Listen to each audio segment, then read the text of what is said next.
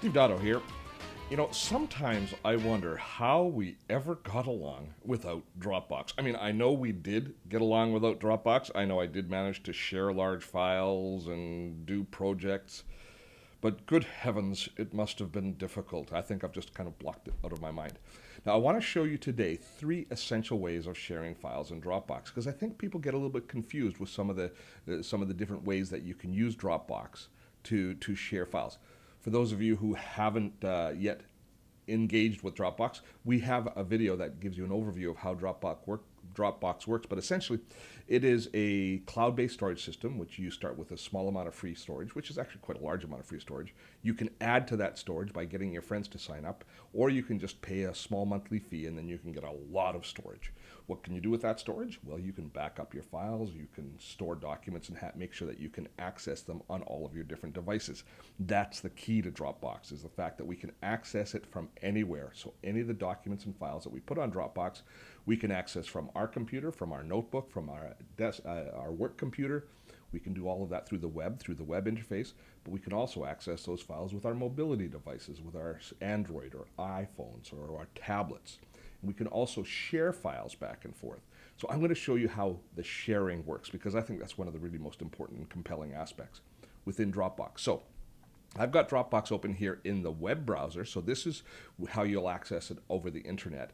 And it, we also have it installed as an application on our desktop computer. And that's what this little icon right here is. This is my Dropbox folder.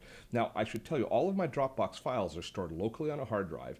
And so there's kind of one base area where all of your files are. And then it, that folder where you have all of your Dropbox uh, files is then uploaded to the internet. So I, if I open my Dropbox folder, I'm actually now in my own Finder or in my own file manager on my computer, browsing through my own documents, and here are where all of my Dropbox files live. Now, as well as accessing all of my files myself in Dropbox, I can use the fact that my all of my files are stored in the cloud and I can share those files with others. And this overcomes one of the huge limitations of attachments in email, which is large file size. So it allows me to basically upload any of my documents and then share them with others. Now there's three different ways of sharing files within Dropbox. And if I go here in my public folder, the public folder is where you're going to put most of the files that you want to share an awful lot, or any stock documents that you might want to be able to give people access to on an ongoing basis, maybe a price list, that sort of stuff. In your public folder, if you right click on any of the different uh, documents within it, and let's say that uh, I've got this little poster that we've got for an upcoming theater event, there you find a little Dropbox menu that goes copy public link. This allows us to then take this Dropbox message, I copy the public link, that's now in my clipboard. So if I create a new email, let me just create a quick little email for you. I'll just go new email here, and there it is. If I now paste within that email, that is the link to that document. So anybody who I send this email to, they simply click on this link, and that document will download to their computer.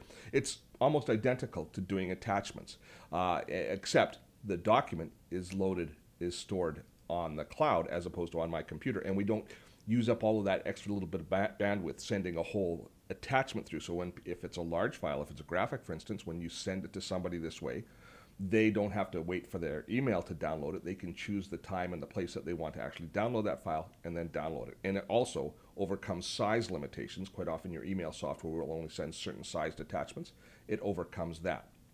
Now, that is the way that we share files within our public folder. And uh, but often we don't want to move files back and forth. They're in project folders. For example, I've got my presentations here, and I give a lot of talks all around. And so I've given a talk to the Vancouver Real Estate Association. I want to share my keynote presentation or a PDF document with them. So how do I do that? Well, I can also do the exact same thing. I could go to Dropbox and I can share the link with them here. And this will create a link that they can then download into their computer. But in this case here, I actually want to share both documents with them. I want to share a folder. So this is where sharing a link becomes that much more valuable because if I share this link here, you see at the folder level rather than at the document level, I can share the whole folder with uh, with the, with the people I want to send it to, so they can then download the uh, so they can then download that document themselves. Now, in this case, instead of just copying that link to my clipboard, it actually opened up the web browser and allows me to send email directly from my web application here to share this link with others. And I can also copy this link to this page so that I can put it into my own email and use my own email client if I choose. Now, if you were really paying attention, you noticed something pretty interesting when I went share this link. If, let's go back to this, the, the, the exact same place share the link. There's also share this folder. And you're thinking, I know you're thinking, what's the difference between sharing the link, Steve, and sharing the folder? Excellent question. Sharing the link means that they can download the files that are in the link. It's perfect. If you give a talk, you want people to be able to download the presentations, and that's basically it. Anything you want to share one way. Sharing the folder means that you can have two-way communication so that that folder now becomes part of their Dropbox mix as well, and they can upload files to the folder. They can make changes to the folder, and I'll give you an example of where that works really well. I do a weekly radio show, and here is where I keep all of my radio files. With this, I uh, quite often record those uh, interviews here in my home office, and then I upload the audio from those interviews into this folder. My producer then takes those files, edits them, and packages them into the show. And then when my show is complete, you can see right here, he, he then re uploads completed shows so that I have access to the final file as well. So when you're in a collaborative world, that's when you want to share a folder. Now, so you've basically got the three ways. You've got the just sharing a simple link of a simple graphic or of a simple document that you just want to share. Then you've got the sharing the link where you share a whole folder and allow people to download all of the contents to a folder. And then you have the actual sharing of a folder where people can then make changes to the folder. Now, this doesn't just work, as I mentioned, this isn't just on your desktop. No, it also works on your mobility devices. And so I've got my iPad here. Let me pop open my Dropbox application here within the iPad and if I go there and I go, let's go back to my Dropbox folder. There it is. There's my Dropbox folder. And as you can see, it's the exact same as it is on my desktop. And if I want now to be able to share or be able to access any of the files here, I can do it through this app. Now, for the iPad users, especially Dropbox is very important because in the early days, still, it's very difficult to load files and documents onto the iPad. They've kind of closed down the system quite a bit. So Dropbox was a way for us to get documents into the iPad that we could work with ourselves. But the other thing about the iPad is it's different because it's difficult to download documents to. It's also difficult to add attachments if you want to have documents that you want to send back and forth by email, and that's one of the real limitations of iOS in the iPad. Dropbox provides us with a great workaround if you stop and think about it for a second. If you have those common files like price lists and things like that, you put them in your shared Dropbox folder. Then, when you want to actually share them with somebody, when you want to send them as an attachment, here's what you do. I'm going to go to my public folder, and I'm going to imagine that the uh, this this uh, there we go. This is the document that I want to share.